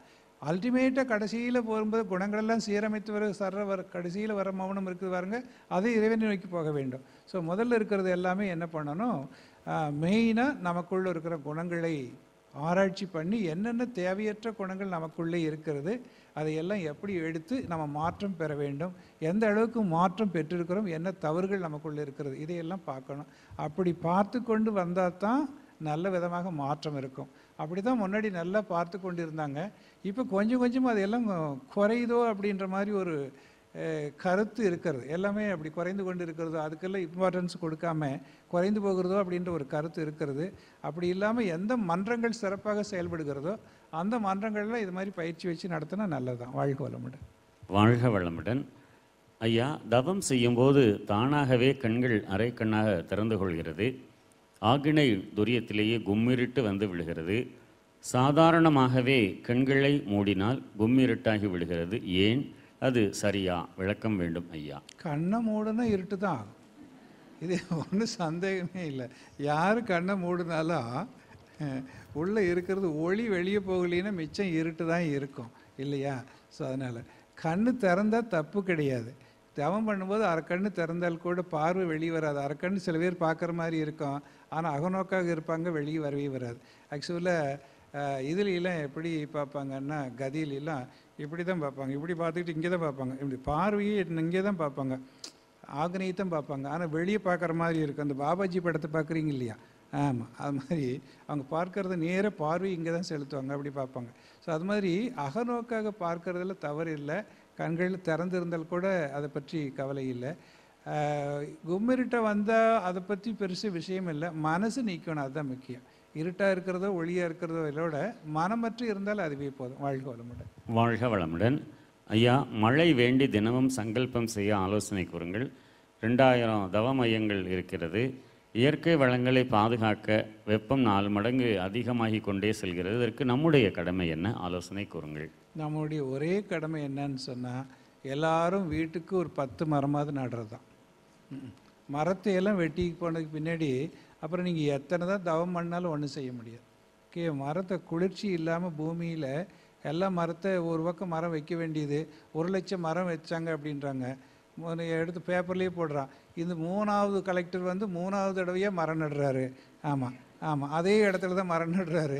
மரத்தை மட்டும் ஏன் காணா அப்படின்ற வருஷம் வருஷம் அதுக்கு பல லட்சம் செலவு பண்ணி மரம் நடுறாங்க. மரம் இருக்கிறது இல்லை. இப்படி தான் நடக்குது நிர்வாகம். அதனால் இருக்கிறதையும் வெட்டிக்கிட்டே இருக்கிறாங்க. அப்போ எக்ஸ்பான்ஷன் ரோடு போடும்போது சில தவிர்க்க முடியாத காரணங்களால் வெட்டப்படுகிறது. பரவாயில்லை தேவைதான். ஆனால் மீண்டும் மரம் வைக்க வேண்டும். அதற்காக வைத்து வளர்க்க வேண்டும். ஸோ இதெல்லாம் இல்லாதனால தான் போய்க்கொண்டே இருக்கிறது. மரம் இல்லைன்னு சொன்னால் அந்த உலகத்தை காப்பாற்ற முடியாது இயற்கை. ஸோ ஜீவன்கள் சரி குருவிகள் பறவைகள் தேனி இதெல்லாம் ரொம்ப முக்கியன்றாங்க வாழ்க்கைக்கு. ஓகேயா இதையெல்லாம் அழித்து கொண்டே போகும்போது மனிதன் மழை எப்படி பெய்யும்? நம்ம தவம் பண்ணால் மட்டும் எப்படி மழை பெய்யும்? நமக்கு எத்தனை பேர் என்ன நினைக்கிறோம்? இந்த எக்ஸ்பான்ஷனில் ஒவ்வொருத்தரும் மழை வரும்போது எல்லாமே மழை இப்போ வந்து எனக்கு இடைஞ்சலாக இருக்குதுன்னு தான் நினைக்கிறேன். மழை வரலாமல் வராமல் இல்லை. மகரிஷி இப்படி சொல்கிறாங்க மழை வராமல் இல்லை. மழை வருது. கடலில் இருக்கிற நீர் ஆவியாகி மேலே போனால் பூமிக்கு தான் வந்தாகணும். கீழே வராமல் வேறு எங்கே போகும் அது? ஆனால் என்ன பண்ணுது? எண்ணங்களாலே இந்த மக்கள் தடுத்து கொண்டு இருக்கிறதுனால அது இங்கே பெய்யாமல் எங்கே தடுக்கலையோ அங்கேயே பெஞ்சிட்டு போயிடுது கடல்லையே. ஆமாம் அதனால் கடல்லையே எல்லாம் கொட்டிட்டு போயிடுது இங்கே பெய்யறது இல்லை. அதுதான் காரணமாக இருக்கிறது. ஸோ என்ன அலைகள் நாம் ஒருத்தர் தவம் பண்ணி மழை வேணும்னு சொன்னால் நூறு பேர் தவம் பண்ணாமையே மழை வேண்டான்னு சொல்கிறாங்க ஆமாம் என்ன பண்ணுறாங்க இது மாதிரி தான் காரணமாக இருக்கிறது. அதனால் எல்லாரும் வலுவான ஒரு எண்ணத்தை சங்கல்பத்தை போட்டு இந்த ஜீவன்கள் எல்லாம் துன்பப்படுகிறது. இந்த ஜீவன்களையெல்லாம் காக்க வேண்டும் இறைவா என்று நம்ம வேண்டுனா சொன்னால் அதுக்கு பலன் இல்லாமல் இருக்காது. ஒரே ஒரு ஜீவன் உள்ள முருகி சுயநலம் இல்லாமல் வேண்டினால் கூட மழை நிச்சயமாக பெய்யும். வாழ்க வளமுடன். வாழ்க வளமுடன். ஐயா ஒருவர் பணம் உள்ளவர் தன் இஷ்டப்படி தவமையம் செயல்பட நினைத்து ஆசிரியரை அவமதித்தால் அந்த மனிதரின் கீழுள்ள தவம் தவமையத்திலிருந்து விலகி புதிய தவமையம் நடத்துவது சரியா? அந்த தவமையத்தில் உள்ளவர்களின் கருத்து நீங்கள் வந்து நடத்துங்கள் என்கிறார்கள். யான் அந்த தவமையத்தில் சேவை செய்ய விரும்பவில்லை. இது குறித்து தங்களின் கருத்து என்னங்கய்யா? என்ன செய்யலாம்னு கேட்குறாரு. சாமி கூடுவாஞ்சேரியில் ஆரம்பித்தார் அங்கே அவர் குடிசையெல்லாம் அடித்து நொறுக்கிட்டாங்க. ஆமாம் கூடுவாஞ்சேரியில் ஒரு செட்டு போட்டு அவர் ஆரம்பித்தார் அவர் குடிசையெல்லாம் அடித்து நொறுக்கிட்டாங்க. அவர் போட்டு ஒரு பட்டா கலெக்டருக்கு எழுதி வாங்கினார். அங்கே இருக்கிற அரசியல் தலைவர்கள்லாம் என்ன செஞ்சாங்க? ஓ நீ என்ன பெருசாக பட்டா வாங்கிட்டு நீ செட்டு போட்டு நீ ஆசிரமம் கட்டிடுவியா? அடிச்சுன்னு நொறுக்கி விட்டாங்க. ஆமாம் எந்திரிச்சு போயிட்டார். மெட்ராஸுக்கு போனார். டி நகரில் போய் அங்கே பண்ணார். அங்கேயும் விரட்டி விட்டாங்க. ஆமாம் அதை விட்டு வந்துட்டு டெல்லிக்கு போனார். அங்கேயும் விரட்டி விட்டாங்க. அதனால தான் வெளிநாட்டுக்கு போனேன் அப்படின்னார். ஸோ இறைவன் எக்ஸ்பான்ஷன் பண்ணுறதுக்காக விரட்டி விட்றான்னு நினச்சிட்டு இங்கே இல்லைன்னா இன்னொரு இடம். எல்லா இடத்துலையும் மக்கள் இருக்கிறாங்க. உங்களால் முடிஞ்சால் அங்கே போய் சத்தம் இல்லாமல் யார் பிரச்சனை பண்ணுறாங்களோ அவங்களோட போய் பிரச்சனை இல்லாத இடத்துல ஆரம்பித்து நடத்துங்க. அதனால் என்ன இருக்குது யார் உங்களுக்கு சப்போர்ட் பண்ணுறாங்களோ அந்த இடத்துல ஐயா ஒரு செட்டு போட்டுக்கூடியால உங்கள் இடத்த கொடுங்க நடத்துங்க நடத்துங்க. அதனால் என்ன இருக்கிறது? அதனால் மக்களுக்கு போய் சேர்றது தான் அடிப்படையான விஷயம். ஓகே நல்லது மக்களுக்கு போய் சேரணும். இது சில சமயம் நம்ம ஒன்றா இருக்கும்போது நம்மை அறியாமல் இந்த பேஜில் நானும் போட்டி தான் ஒரு ஆரோக்கியமான போட்டி. நான் நடத்துகிறதா நீ நடத்துகிறதா நான் பெரியவனா நீ பெரியவனான்னு சில சமயம் வரத்தான் செய்யும். ஏன்னா சாதாரண எல்லாரும் மனிதர்கள் தானே அப்படி வரோம். ஸோ நமக்கு ஒத்து வரலைன்னா வேற ஒரு இடத்த பார்த்துக்க வேண்டியதுதான். ஓகே வாழ்க்கை வளம் வாழ்க வளமுடன். பக்தி யோகம் ஞான யோகம் ராஜயோகம் கர்மயோகம் இவற்றில் மகரிஷி ராஜயோகத்தை தேர்ந்தெடுத்தது ஏன் ஐயா? இறைவன் அவரை தேர்ந்தெடுத்ததுனால அவர் தேர்ந்தெடுத்தார். இறைவன் இதை சொல்லணும். அப்படின்ட்டு இது சொல்லுவதற்கு ஆள் இல்லை அந்த காலத்தில்.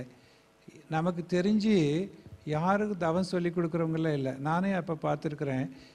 ஒரு முப்பது நாற்பது ஆண்டுகளுக்கு முன்னாடி நான் ஒரு ஐம்பது ஆண்டுகளுக்கு முன்னாடி நான் படிச்சுட்டு இருக்கும்போது ஸ்கூலில் ஆறாவது வள்ளலார் புக்கு விவேகானந்தர் புக்கெல்லாம் லைப்ரரியில் எடுத்து படிச்சுட்டு உனக்குள்ளேயே எல்லா ஆற்றலும் இருக்கிறதே. எங்கே எப்படி இருக்கிறது? எப்படி வெளியே கொண்டு வர்றது? எங்கே இருக்குதுன்னே தெரியாது. இப்படி எல்லாரும் சொல்கிறாங்க உனக்குள் அனைத்து சக்திகளும் சக்திகளும் இருக்கின்றன. அதை நீ வெளியே கொண்டு வா. பேச்செல்லாம் உ- உரையெல்லாம் நல்ல வீர உரையாக இருக்கிறது. ஆனால் எப்படின்னு தெரியாது. இப்படியே. ஆனால் மகரிஷி வந்து தான் கொடுத்தாரு. இப்படி எப்படின்னு தவம்னு கொடுத்து எல்லாருக்கும் உடலில் உயிர் இருந்த போதுன்னு கொடுத்தாரு. இப்படி வந்ததுனால தான் தெரிஞ்சது. தெரிஞ்சதுனால தான் இப்போ எல்லாருக்கும் பரவருக்கு இத்தனை பேர் வருவதற்கு காரணமாயிடுச்சு. இவருக்கு பின்னாடி வந்தவங்க இப்போ நிறைய ஆசிரமங்கள் எல்லாம் இருக்கிறதுன்னு சொன்னால் அவர்களெல்லாம் அதுக்கு பின்னாடி வந்தது இதை தெரிந்து கொண்டு தான் அவர்களெல்லாம் கொடுக்க ஆரம்பித்தாங்க ஓகேயா ஸோ இது மாதிரி முறைப்படுத்தப்பட்ட குண்டலினி யோகத்தை பெரும்பாலும் இதுவரைக்கும் இன்னும் யாரும் கொடுக்கலன்னு சொல்லுவோம். ஒரு காலத்தில் குரு பாரம்பரியத்தில் இருந்திருக்கலாம். ஆனால் மற்ற எங்கும் இது மாதிரி முறைப்படுத்தப்பட்ட கொண்டல் யோகம் கொடுக்கப்படவில்லை. அதனால் இது நல்ல மெத்தட் தான் கொடுக்கப்படும் என்ன கேள்வி கடைசி கேட்குறது அந்த கேள்வி. ராஜயோகத்தை ஏன் தேர்ந்தெடுத்தாங்க? ஆமாம் ஆமாம் அதனால் இறைவன் இவரை தேர்ந்தெடுத்தார் இது எல்லாம் கொடுக்கணும்னு. அப்படி கொடுத்ததுனால தான் இன்னைக்கு அத்வைத தத்துவம் என்பதோ பிரம்மஞானம் என்பதோ யாரும் தெரிந்து கொள்ளக்கூடிய விஷயமாக இருந்தது. கடைசியில் மகரிஷி சொன்னாங்க ஒரு ரெண்டு பேர் நானும் சோமசுந்தரம் அவர் கூட பேசிக்கிட்டு இருக்கிறப்ப அவர் சொன்னார் ஒரு ரெண்டு பேர் அட்லீஸ்ட் ஒருத்தர் இதை புரிஞ்சுக்கிட்டால் கூட என் காலத்தில் எனக்கு போதும் அப்படின்னு ஆலங்கத்தை வெளிப்படுத்தினார்கள். ஒரே ஒருத்தர் புரிஞ்சுக்கிட்டால் கூட எனக்கு பின்னாடி இது வந்துடும் அப்படின்னார். ஏன்னா இதை புரிந்து கொள்வதற்கு யாரும் இல்லை அன்னைக்கு. ஏன்னா நான் எனக்கும் அப்போ அவர் காந்த தத்துவம்ல எழுதுனா காந்த தத்துவத்து பாடலை தான் மனப்பாடம் பண்ண முடியுமே தவிர காந்தம்னா என்னன்னு தெரியாது. ஓகேயா இன்றைக்கி எல்லா ஆசிரியர்களும் சர்வசாதாரணமாக காந்தத்தை பேசுகிறோம் இல்லையா? ஸோ அப்படி அன்றைக்கி புரிந்து கொள்பவர்கள் இல்லை. அதனால் அப்படி ஆதங்கப்பட்டார். இது இறைவனே வந்து கொடுத்தது. இறைவன் வந்து ஒரு அவருக்கு முன்னாடி இதே இடத்துல தான் மேலே வந்து ஒருத்தர் காட்சி கொடுக்குறாரு. ஒரு உருவமாக ஒரு புகை உருவம் மாதிரி அவருக்கு தெரியுது காலை நேரத்தில். அப்போது நீங்கள் பிரம்மஞானம் எழுதுங்க அப்படின்னு சொல்கிறாங்க அப்போ இவர் சொல்கிறார் நீங்கள் யார்? அகத்தியரா? அப்படின்னு சொல்கிறாங்க அப்போது இல்லை நீங்கள் பிரம்மஞானம் எழுது அப்படின்னு சொல்கிறாரு எனக்கு தெரியாதே அப்படின்னு சொல்கிறாரு நீ எழுது தெரியும் அப்படின்றாரு. ஸோ அவர் போயிட்டாரு அவர் உருவம் அந்த உருவம் மறைஞ்சிருது. அப்புறம் தான் அவர் எழுத ஆரம்பிக்கிறார். ஸோ இதெல்லாம் இறைவனால் கொடுக்கப்பட்டது இந்தந்த காலத்தில் இது வர வேண்டும். இனி எந்த ஆசிரமத்திலையும் பிரம்மஞான கல்வியை இப்படி இறைவனை பற்றி கொடுக்கறது யாரும் இல்லை. அதுதான் உண்மை. இது வேதங்களில் இருக்கிறது உபனிஷத்துக்கள் இருக்கிறது உயர்ந்த நிலையில் இருக்கிறது கீதையில் சொல்லப்படுகிறது இப்படியெல்லாம் இருக்கிறதாலும் இது யோகத்தில் உச்ச நிலை யோகம். சாதாரண நிலை யோகத்திலிருந்து இந்த அல்டிமேட் திங் யோகம் இருக்குது பாருங்க. உச்ச நிலையாக இருக்கக்கூடிய பிரம்மஞானத்தை சாதாரண மக்களும் தெரிந்து கொள்ளலாம் என்பதற்காக இவர் அனுப்பப்பட்டவர். அதனால் அவர் அதை தேர்ந்தெடுத்தார். அவ்வளோதான் வாழ்க வளமுடன். வாழ்க வளமுடன். ஐயா திருமணத்திற்கு முந்தைய ஆலோசனைகள் கவுன்சிலிங் வழங்கினால் தம்பதியராக போகிறவர்களுக்கு மிகவும் பயனுள்ளதாக இருக்கும். மன்றங்களில் கொடுப்பதற்கு அறிவிப்பு வெளியிடலாமே. இது ரொம்ப அருமையான விஷயம். நம்மக்கிட்ட நிறைய சப்ஜெக்ட் இருக்கிறது. திருமணத்திற்கு புன் முன்னு மகளிருக்கு கொடுக்கக்கூடிய கல்வி அதே மாதிரி இரண்டு பேருக்கும் கொடுக்கக்கூடிய கல்வி. எப்படி இருக்கணும் உடல் அளவில் எப்படி தயார் பண்ணிக்கணும் மன அளவில் எப்படி தயார் பண்ணிக்கணும் உயிரை எப்படி தயார்படுத்தி வச்சிருக்கணும் எப்படி நன்மக்களை பெற முடியும் இப்படின்றதுக்கான அற்புதமான பாடங்கள் எல்லாமே இருக்கிறது. அதையே எல்லாம் ச கலந்து நம்ம கொடுத்துக்கிட்டு வர்றோம். அதுக்குன்னு தனியாக சிலபஸ் பண்ணி அதுக்குன்னு ஒரு அட்ராக்ஷனாக கொடுக்கறதுக்கு தான் நமக்கு இல்லை. தலைவர் நடுவில் ஒன்று டிசைன் பண்ணார். பண்ணி இது மாதிரி கொடுக்கலாம் அப்படின்னு சொன்னார். இதெல்லாம் மாதிரி இங்கேயே போட்டு பண்ணலாம் மணமக்களுக்கான யோகமாக பண்ணலாம். அவங்க டாக்டர்லாம் அது பண்ணிகிட்ருக்குறாங்க ஈரோட்டில் பண்ணிகிட்ருக்குறாங்க அதனால் அதனால அது மாதிரி பண்ணலான்னாரு. அப்புறம் நான் ஒரு நாள் டிஸ்கஷனுக்கு போயிருந்தேன். பட் அவங்க நடத்துகிறதுல அவங்க சைக்காட்ரிஸ்ட் வச்சு நடத்தணும் அப்படின்னு அவங்க பிரியப்பட்டாங்க. நான் சொன்னேன் நம்மக்கிட்ட நிறைய சப்ஜெக்ட் இருக்கிறது நம்ம மனவளக்கலை ஆசிரியர்களை வச்சு நடத்தலாம் அப்படின்னு நம்ம சொன்னோம். ஸோ அந்த அளவுக்கு வந்துச்சு. அப்புறம் ஒரு சிலபஸ் கூட ஃபார்ம் பண்ணி கொடுத்தேன். நான் ஒரு டாக்டரை வச்சுட்டு டாக்டர் டாக்டர் அமலா தேவின்ட்டு ஒரு எக்ஸ்பர்ட் திண்டுக்கல்ல. ஸோ அவங்க கைனகாலஜியில் ரொம்ப எக்ஸ்பர்ட் ரொம்ப கா காம்ப்ளிகேட்டட் கேஸில் அவங்க நல்லா டீல் பண்ணுவாங்க. நீங்கள் கேள்விப்பட்டிருப்பீங்கன்னு நினைக்கிறேன். ஸோ அவங்க வச்சுட்டு இது இந்த அது நம்ம மனவளக்கலையில் நிறைய பயிற்சி நடத்துவாங்க. வச்சு ஒரு சிலபஸே போட்டு நாங்கள் கொடுத்தோம். இது இது இல்லாமல் மகர்ஷி கருத்துக்களும் இதையெல்லாம் மெடிக்கலும் சேர்த்து நம்ம எடுத்துக்கிட்டு போயிருந்தா ஒருவேளை நல்லா இருக்கும். அது எந்த காரணத்தினாலேயோ அவங்க ஒரு விளம்பரம் கூட பண்ணினாங்க. ஆனால் மக்கள் யாரும் வரல. ஒரு சமயத்தில் ஒரு விளம்பரம் கூட அன்பொழியில் வந்துச்சு. அது மக்கள் வரல அது அப்படியே நின்று விட்டது. அவ்வளோதான் வித்தியம் அதாவது இந்த யோகத்தில் எப்படி இதுக்காக ஒன்று பண்ணாங்க. நம்ம இண்டஸ்ட்ரியலிஸ்ட்டுக்காக ஒன்று பண்ணாங்க. யோகா பார் ஒவ்வொன்றுக்க பண்ணுற மாதிரி ஸ்டூடெண்ட்ஸுக்கு ஒய் ஒய் பண்ணுற மாதிரி ஒய்ஹெச்சி e பண்ண மாதிரி அதே மாதிரி இவங்களுக்கு கார்ப்பரேட் செக்டருக்கு ஒன்று அதே மாதிரி குடும்பத்தினருக்கு ஒன்று அப்படியெல்லாம் பண்ணப்பட்டது. அப்புறம் நடுவால் நின்று விட்டது ஏதோ ஒரு காரணத்தினால. ஒரு மகரிஷி நினைத்தா மீண்டும் வரலாம் மேலே தலைவருக்கு மீண்டும் அதை எட்டுச்சுன்னா இதன் வழியாக மீண்டும் வரலாம். வாழ்க்கை வளமுடன். வாழ்க வளமுடன். ஐயா தவம் செய்தபின் தூக்கம் வருகிறது தூங்கலாமா? தூக்கம் வந்தால் தூங்க வேண்டியது அது நம்மகிட்ட கேட்டுட்டே வருது. இல்லையா? இதில் என்ன பெரிய விஷயம்? தூக்கம் வந்தால் தூங்கிருங்க. தூங்குறதுல ஒரு நன்மை இருக்கிறது. என்ன நன்மைன்னு சொன்னால் மனசு நிற்கும் போது தான் ஆகாசம் உள்ள வரும். நமக்கு உணவு வேண்டும் காற்று வேண்டும் நீர் வேண்டும். இதே மாதிரி ஆகாசம் வேண்டும். ஆகாசம் எப்போ உள்ளே வரும்னு சொன்னால் மனசு நிற்கும் போது தான் ஆகாசம் உள்ள வரும். அப்போ தூங்கின உடனே உடனே ஆகாசம் உள்ளே வந்த உடனே நம்ம ரிச்சாக ரீசார்ஜ் ஆகிடுவோம் உடனே ரீசார்ஜ் ஆகிடுவோம் இமிடியேட்டாக இன்ஸ்டண்ட்டாக அஞ்சு நிமிஷம் தூங்கி பாருங்கள் ரொம்ப டயர்டாக இருப்பீங்க. அப்படியே சேரில் படுத்து அஞ்சு நிமிஷம் தூங்கி பாருங்கள் அஞ்சாவது நிமிஷம் நீங்கள் ஃப்ரெஷ் ஆயிடுவீங்க ஓகேயா அப்போ அந்த ஆகாசத்தை எடுத்துக்கிட்டோன்னு ஃப்ரெஷ் ஆயிடுவோம் அப்போ அதே மாதிரி ஒரு சின்ன குட்டி தூக்கம். விட்டுட்டுக்கு பின்னாடி அப்புறம் தியானம் பண்ணிங்கன்னா ஃப்ரெஷ்ஷாக இருக்கும். முடியாதவங்க அப்படி தான் செய்ய முடியும். அதனால் தவறு கிடையாது. தூங்குறது தவறு கிடையாது. ஏன்னா எனர்ஜி பத்தல. தியானம் பண்ணுறதுக்கு நல்ல எனர்ஜைஸ் பாடி இருக்கணும். ஃப்ரெஷ்னஸ் இருக்கணும். ஓகேயா ஆரோக்கியமாக உடலும் இருக்கணும். மனசும் இருக்கணும். இதெல்லாம் தவம் பண்ண முக்கியம். உணவு ரொம்ப ரொம்ப முக்கியம். அது மாதிரி உணவு எடுத்துக்கொண்டால் தான் நம்ம தவம் பண்ண முடியும். ஒவ்வாத உணவு எடுத்துக்கொண்டு தவம் பண்ண முடியாது. அளவோடு சாப்பிடணும். நான் இங்கே பார்க்குறேன் காலையில் நல்ல இன்ட்ரெஸ்டிங்காக வகுப்பு நடத்திக்கிட்டு இருக்கும்போது ரெண்டு மூணு பேர் இப்படி ஆகாசத்தை பார்த்து தூங்குறாங்க. அது எப்படி சுத்த வெளி பார்த்து தூங்குறாங்கன்னு தெரியல. தூங்குறதுல கூட பிரம்மத்தோடு தூங்குறாங்களேன்னு நினச்சிக்கிட்டு அவளை என்ன செய்ய முடியும்? இப்போ தூங்கணும் இப்படி தானே வரணும் அவங்க ஆகாசத்தை பார்த்துட்டு ஆன்னு தூங்குறாங்க. சரி. ஸோ அது மாதிரி பரவாயில்லை. பட் தூங்கி திருப்பி எந்திரிச்சிட்டா சரி வாழ்க்கை வளமுடன். வாழ்க வளமுடன். மகரிஷி அவர்கள் ஞான நிலை எய்தியதற்கு பெரிதும் உதவியது. ஞான மார்க்கமா யோக மார்க்கமா?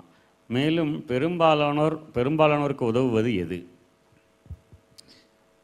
ஒவ்வொருத்தரையும் இறைவன் ஒவ்வொரு மாதிரி டிசைன் பண்ணுறான் ஒரு எந்த பயிற்சியும் செய்யாதவர்கள் ஞானம் அடைந்தவர்கள் உண்டு. பல பயிற்சிகளை செய்து ஞானம் அடையாதவர்களும் உண்டு. யாருக்கு இறைவன் எப்படி கொடுத்துருக்காருன்னு நமக்கு தெரியவே தெரியாது. அவர் எந்த மார்க்கத்தில் யோக மார்க்கத்தில் போய் ஞான மார்க்கத்தில் வந்து அவர் அடைந்தாரா அப்படின்னு யாராலையும் சொல்ல முடியாது. அவரால் கூட சொல்ல முடியாது. ஏன்னா அது இறைவனுடைய விருப்பம். ஒருவருக்கு அது கிடைக்கக்கூடிய பெரும் பாக்கியம் இறைவன் கிடைக்கக்கூடியது இறைவனுடைய விருப்பம் முன் பிறவியில் செய்த பூர்வ புண்ணியம். ஸோ அதனால் சாதாரணமாக கூட கிடைத்து விடும் ஒரு சின்ன முயற்சியில் எனக்கு தெரிஞ்ச ஒருத்தர் சொல்கிற அவர் இபியில் ஒர்க் பண்ணிகிட்டு இருந்தார். வடகரை சிவானந்தர் ஆசிரமத்துக்கு போவார் எப்போவுமே. என்னை எப்போ ஒரு நாள் என்னை கூட்டிகிட்டு போனார். நீங்கள் வரணும்னு அவசியமாக மூணு முறை வந்து என்னை அழைச்சார். சரின்னு நான் அவர் கூட போனேன். அங்கேருந்து ட்ரெயினில் போனேன் வடகரைக்கு. ரொம்ப எளிமையான மனிதர். அவரே போய் அங்கேருந்து நல்ல பஞ்சாமிர்தம் கிடைக்கும். அதை வாங்கிட்டு வந்து வந்த போல் பிரசாதம் கொடுப்பார். ரொம்ப ரொம்ப சிம்பிளாக இருப்பார். நாங்கள் பார்த்து அங்கே பண்ணுற கதியெல்லாம் பார்த்துட்டு இவ்வளவு நடன கதி அழகாக காலையில் பண்ணுறாங்களே ஐயா இதெல்லாம் உங்களுக்கு கற்றுக்கிட்டு வர மாட்டீங்களா அப்படின்னு அவர் சிரிச்சுக்குவார். இல்லை ஆசிரமத்துக்குள்ளே இருக்கிறவங்க பண்ணுறது வெளியே இருக்கிறவங்க பண்ணக்கூடாது.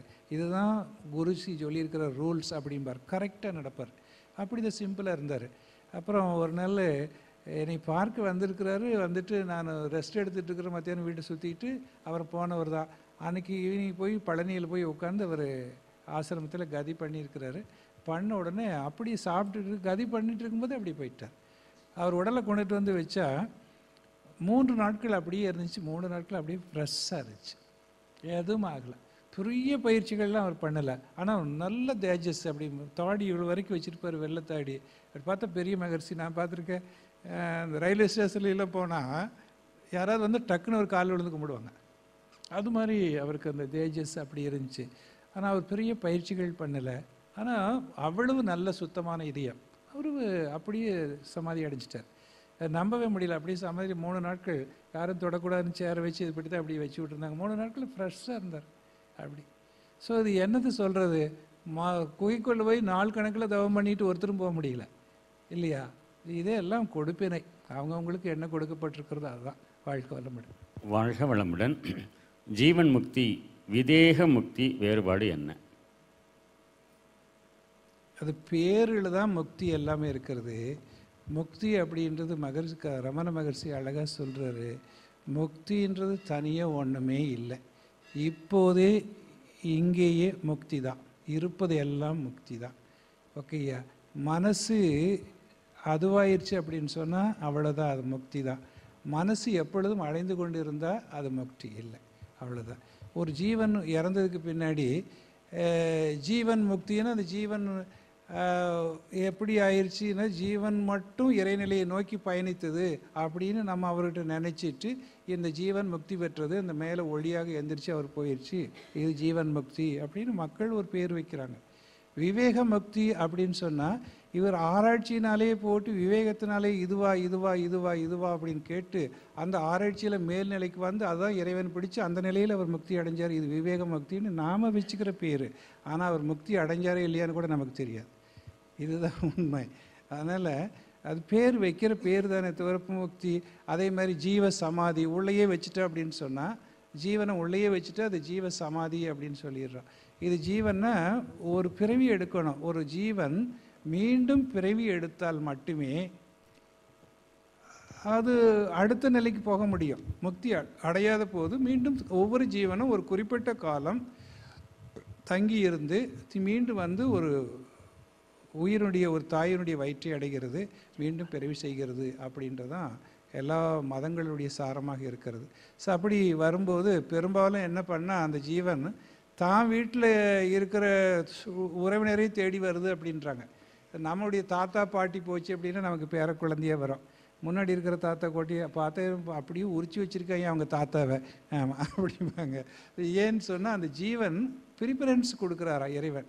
நீ எங்கே போய் பிறவி எடுக்கணும்? இல்லை ஏற்கனவே எனக்கு பழகிய மக்கள் எல்லாம் இருக்கிறார்கள் நான் அங்கேயே எடுத்துக்கிறேன் அப்படின்னு சொன்னால் அது ப்ரிஃபரன்ஸ் கிடைக்கிறதா? சில பேருக்கு ஸோ இப்படி வரும்போது பிறவி எடுக்கிறது அப்படின்னு தான் சொல்கிறாங்க ஸோ இப்படி பிறவி எடுத்து வரக்கூடியது தன்னுடைய இதையெல்லாம் அனுபவித்து மீண்டும் முடிக்கலைன்னா மீண்டும் பிறவி எடுக்கணும்.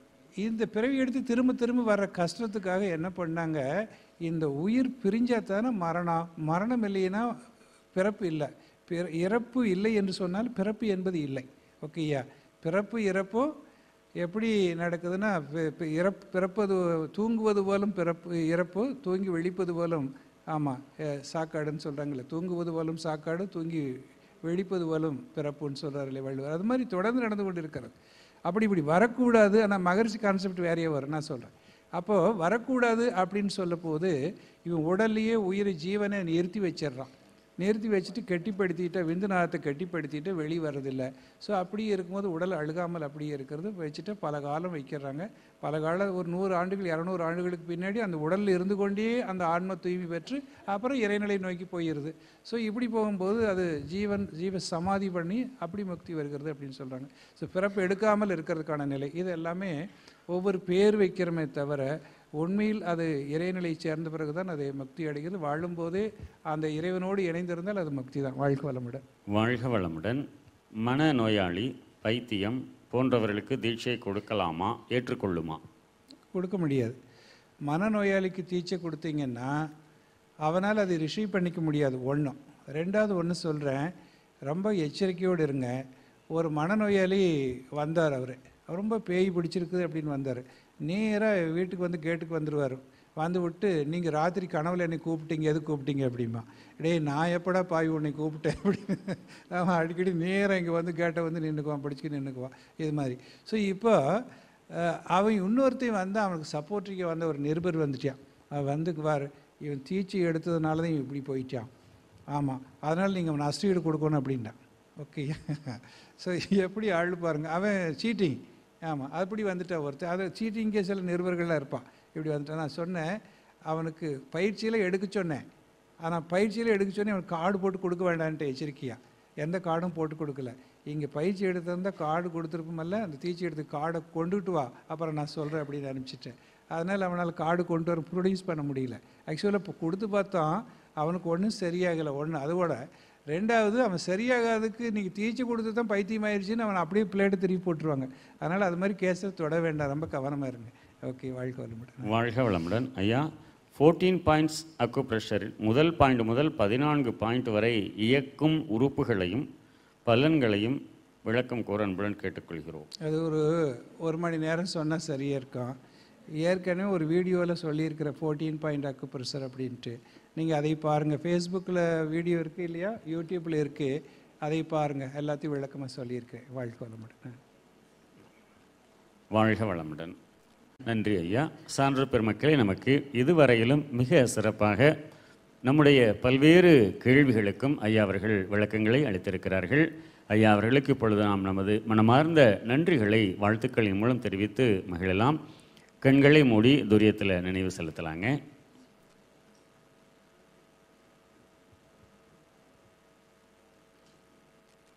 ஸ்மார்ட் இயக்குனர் முதுநிலை பேராசிரியர் எம். கே. தாமோதரன் ஐயா அவர்கள். ஐயா அவர்களின் உடல் நலம். ஐயா அவர்களின் அன்பு குடும்பம். ஐயா அவர்களின் அனைத்து பணிகளும் சிறப்பாக நடைபெற வாழ்க வளமுடன்.